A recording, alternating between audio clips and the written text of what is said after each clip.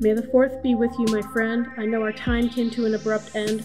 One day in the future, I'll come back to you. Until then, keep your galaxy safe, and I'll watch over mine too.